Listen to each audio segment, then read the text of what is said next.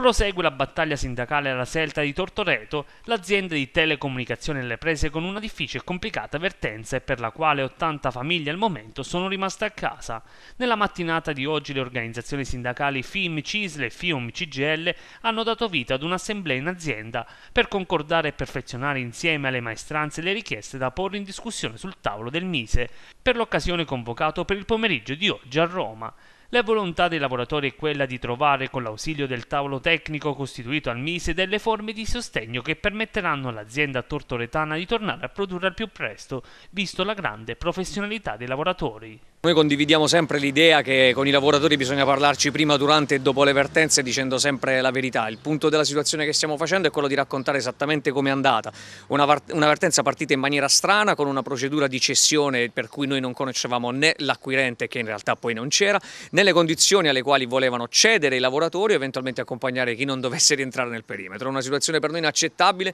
che ha fatto sì che tramite le mobilitazioni degli stessi lavoratori e dei nostri delegati ha portato alla convocazione al Ministero. Noi chiederemo che venga attivato uno scouting veloce per poter trovare un acquirente interessato a un know-how importante che c'è all'interno del sito eh, di tutta la Selta e soprattutto del sito di Tortoreto e discutere degli ammortizzatori sociali in scadenza che hanno bisogno di essere prorogati perché altrimenti si rischia di avere un disastro sociale in una regione già fortemente compromessa tanto da rientrare nell'area di, di, di crisi complessa che c'è in Italia. Il sito di Tortoreto è un punto molto importante, grandissime le professionalità. Esatto, ed è il problema che si vede a livello nazionale, nel senso che si ha sempre la difficoltà a reindustrializzare, a trovare acquirenti e spesso disperdiamo competenze che già scarseggiano. Noi abbiamo una fortuna, a Tortoreto c'è questa possibilità, ci sono grandissime competenze e tecnologie all'avanguardia che vengono utilizzate nella rete delle comunicazioni, che non vanno disperse e l'impegno del Mise deve essere concretizzare tutto questo e rendere onore al merito dei lavoratori e di ciò che sanno fare.